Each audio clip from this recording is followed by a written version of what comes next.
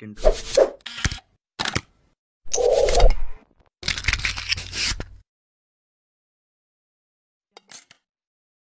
guys, welcome back to another video.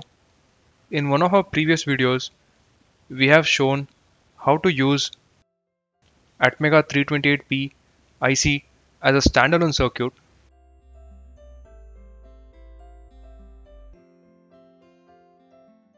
burn bootloader and upload code. In the same video, we had designed custom PCB board to make it more compact and easy to use. Today, I have received the PCBs. This will be the part second of the video where we'll solder all the components and show the final working.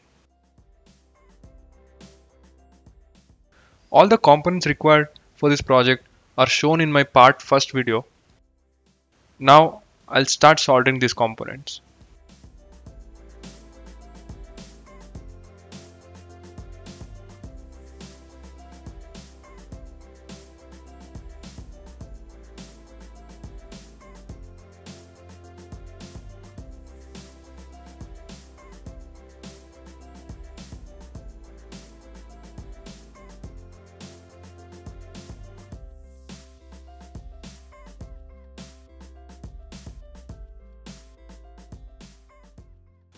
So after soldering, this is how our compact standalone Arduino circuit looks.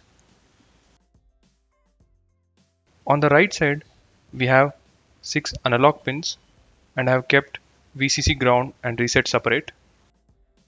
On the left, there are 14 digital pins. This is a power indicator.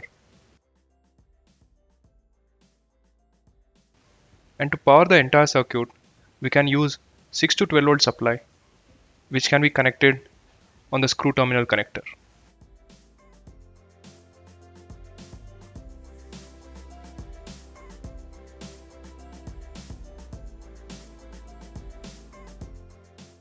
Moving on to the software side, first we have to burn the bootloader on this custom PCB board.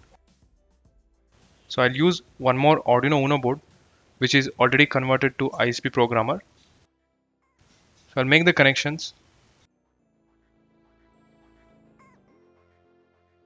Connect to computer. And I'll burn bootloader using Arduino IDE.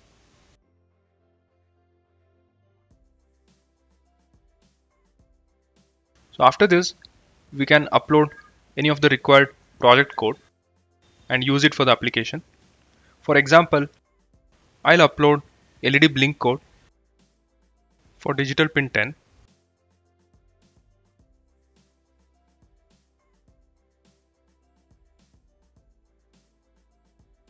So the code is uploaded. I'll remove all the connections and connect the LED bulb on digital pin 10 and ground.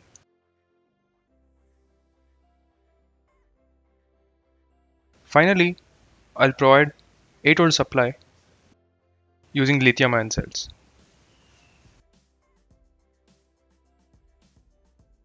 So in this way you can use this compact Arduino Uno in your projects. That's all for this video. I'll provide the PCB Gerber file download link in the description box and also I have some extra printed circuit boards. If you are interested you can reach out to us on mail or Instagram. Thank you for watching. We'll be back in the next one.